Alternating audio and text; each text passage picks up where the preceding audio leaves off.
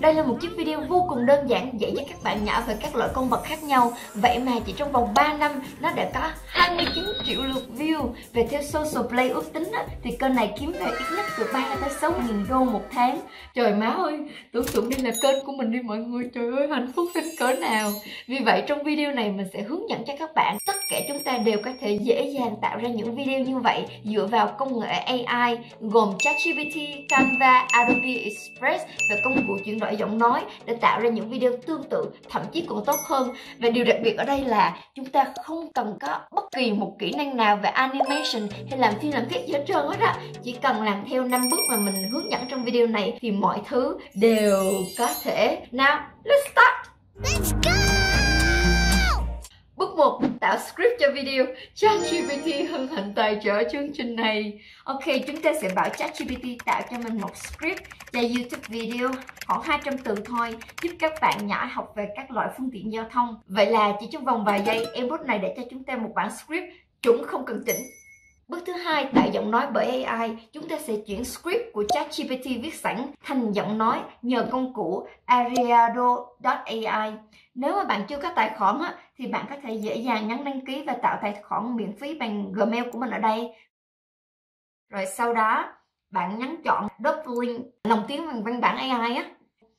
Rồi công cụ này đặc biệt ở chỗ á, là nó có cả ngôn ngữ trên thế giới, trong đó có cả Việt Nam mình đã lồng tiếng luôn. Mặc dù nó chỉ có hai lựa chọn, một nam, một nữ, so với những cái ngôn ngữ phổ biến như tiếng Anh chẳng hạn. Vì vậy, trong video này mình sẽ dùng tiếng Việt để hướng dẫn cho mọi người dễ hiểu ha. Nhưng mà bạn hoàn toàn có thể tạo ra video tiếng tiếng Trung, tiếng Hàn, tiếng Ả Rập, tiếng ừ, Thái Lan, tiếng Lào, tiếng ừ, tiếng gì cũng được hết ha. Ở đây mình sẽ chọn giọng nữ. Bạn có thể điều chỉnh cả tốc độ cũng như giai điệu nói ở đây.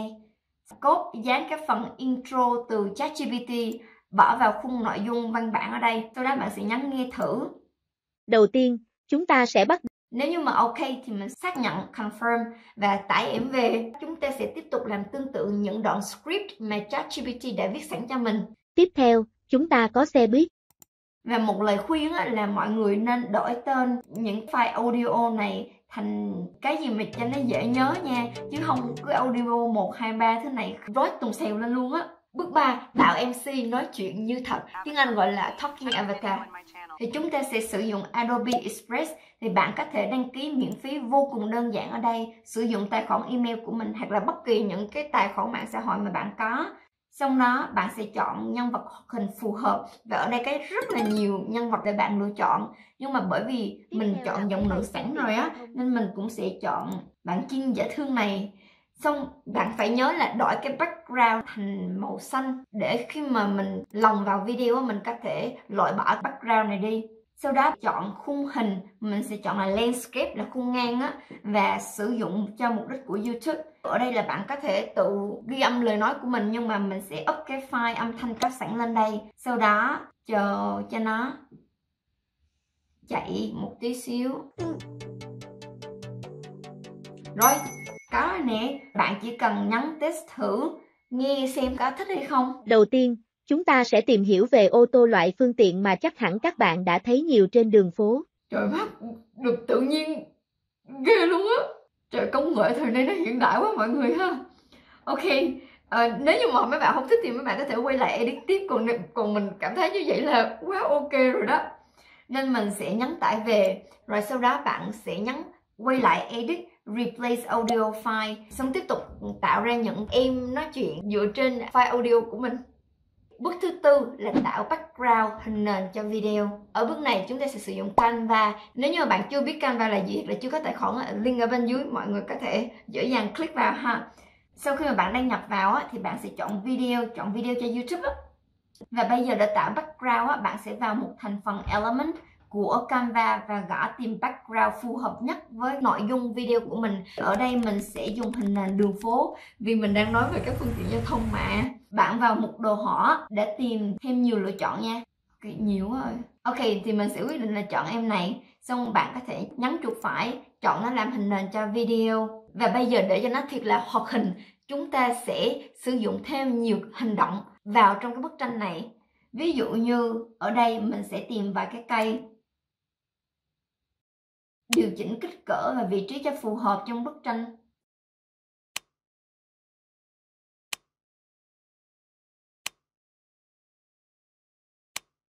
Mình còn thêm ông mặt trời tỏ nắng trên nó luôn thì lên luôn.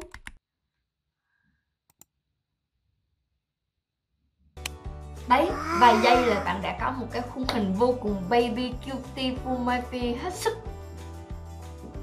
Trong phần giới thiệu chúng ta sẽ tiếp tục tạo ra những cái hình nền cho các phương tiện giao thông còn lại. Phải nhớ là canh thời gian của video cho nó khớp với giọng nha bà con. Rồi u như kỹ Mình lại tiếp tục làm background cho các phân cảnh này. Là một con đường rộng hơn.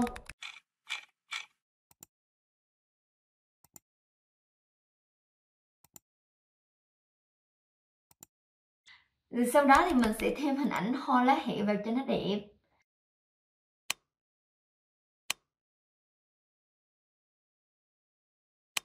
Rồi, thêm luôn em thả ngẩn ngơ này vào.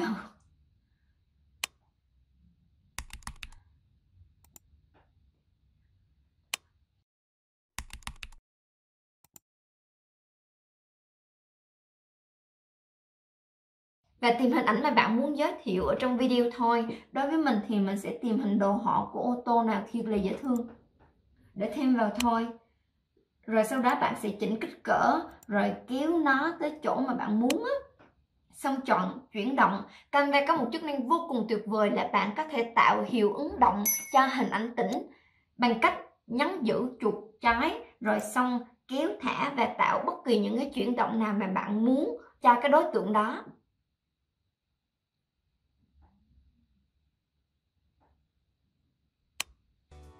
Ta ta! Vậy là mình đã xong một cái phân cảnh mà nó cũng rất là chớp nhí tùm lum tùm la hoạt hình các kiểu, đúng không?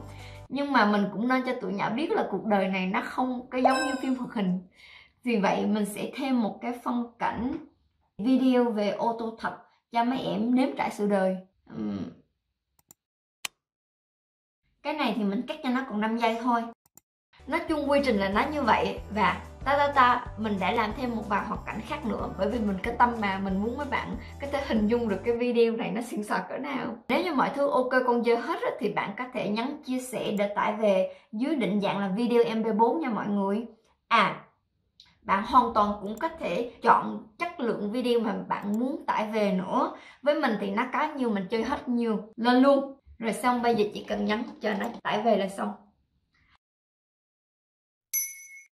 Cuối cùng hoàn thành video.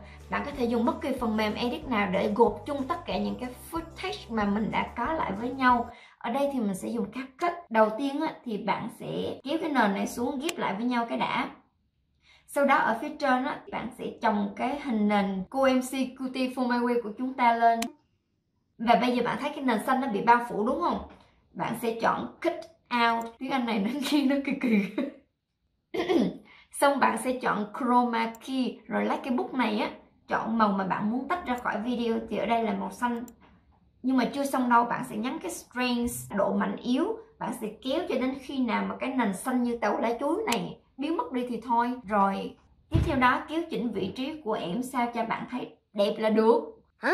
Ê mà mình thấy mấy cái cảnh sau đủ đẹp rồi á Ờ, ý là mình làm tùm lum tà lá hết trơn nên nó rối quá rồi. Nên mình nghĩ là mình sẽ không dùng cái bản avatar này nữa. Mình sẽ tách ra lấy âm thanh thôi. Má ơi, quá là uổng công mình ngồi render mấy em cũng giống như yêu nhau thôi. Tình tiền cho hết đi rồi cuối cùng phát hiện không hợp thì cũng phải chia tay nhau thôi.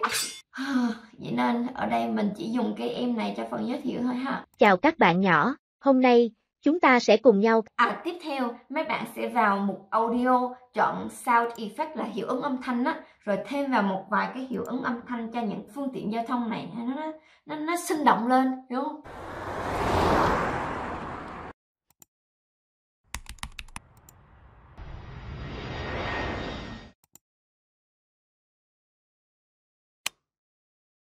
Đúng mà còn rảnh nữa thì mấy bạn có thể lên YouTube Music Library lượn một vòng để tìm một bản nhạc nền nào đó phù hợp. Ghép vô cho nó thiệt là cà lem cà lem ở đây bởi vì mình làm video cho mấy bạn nhỏ thì mình sẽ chủ yếu chọn dòng nhạc nó vui tươi sinh động một tí xíu thì mình sẽ chọn bài hát này. Rồi xong ghép nó vô. Đó sơ sơ như vậy là xong rồi đó. Rồi giờ xuất ra thôi. À, lưu ý, nhớ chọn cái chỗ mà bạn xuất video ra nha. Bởi vì nhiều khi mình làm video mình edit xong mình mệt thấy bà luôn. Vậy nên khi mà mình xuất là mình nhấn export ra luôn mà không có để ý là mình xuất ở đâu. Vì vậy nó báo là làm xong rồi cái không biết tìm ở đâu luôn. Vậy nên mọi người nhớ để ý chọn cái chỗ mình xuất video ra ha. Và mời mọi người xem phiên bản video hoạt hình mà mình đã nay luôn ra làm nãy giờ cho mọi người. Chào các bạn nhỏ. Hôm nay, chúng ta sẽ cùng nhau khám phá thế giới của những phương tiện giao thông thú vị và hữu ích. Đảm bảo bạn sẽ có một cuộc phiêu lưu thú vị và tìm hiểu thêm về từng loại phương tiện này. Hãy cùng bắt đầu nhé! Đầu tiên, chúng ta sẽ tìm hiểu về ô tô loại phương tiện mà chắc hẳn các bạn đã thấy nhiều trên đường phố. Ô tô là phương tiện di chuyển bằng bốn bánh, chạy bằng động cơ và được dùng chủ yếu để di chuyển trên đường bộ. Tiếp theo, chúng ta sẽ khám phá máy bay. Máy bay là phương tiện vận chuyển bay trên không, giúp bạn đi từ một đất nước này đến đất nước khác trong thời gian rất ngắn.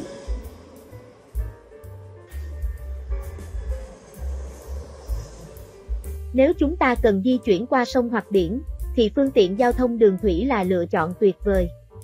Điển hình là thuyền, tàu thủy và tàu du lịch, chúng cho phép chúng ta thưởng thức cảnh quan đẹp và thư giãn. Giờ ơi, đỉnh chưa, đỉnh chưa, mình là thấy đã rất là xuất sắc rồi đó. Mục đích chính của cái video này là mình chỉ muốn hướng dẫn mọi người cách để chúng ta có thể gộp lại những cái công cụ hiện đại đang có để tạo ra một thành phẩm mà ngày xưa chỉ có những người chuyên nghiệp mới làm được thôi. Và nếu như các bạn đầu tư nhiều thời gian, công sức và sự sáng tạo hơn nữa thì mình tin chắc là bạn hoàn toàn có thể tạo ra những video còn hay hơn, đỉnh hơn, tuyệt vời hơn nữa. Chúng ta có thể sử dụng nó để đăng YouTube kiếm tiền nè, phục vụ cho mục đích giáo dục, giới thiệu sản phẩm hoặc là thuyết trình gì đó tùm lum tài la. Nói chung là làm mọi thứ đều được. Và bạn cũng có thể tham khảo những video mình hướng dẫn về cách sử dụng các công cụ AI khác ở đây. Thì thật sự khi mà làm những video này á mình vô cùng vô cùng hy vọng uh, chúng ta những người Việt Nam tụi mình á ờ, có thể bắt kịp với những xu hướng hiện đại của thế giới và có thể ứng dụng nó khiến cho cuộc sống và công việc của mình ngày càng tốt hơn nữa. Vậy nên nếu như bạn nào đã xem video được tới đây rồi thì mình cảm ơn rất là nhiều. Bạn có thể comment say hi thôi cũng được cho mình biết được không?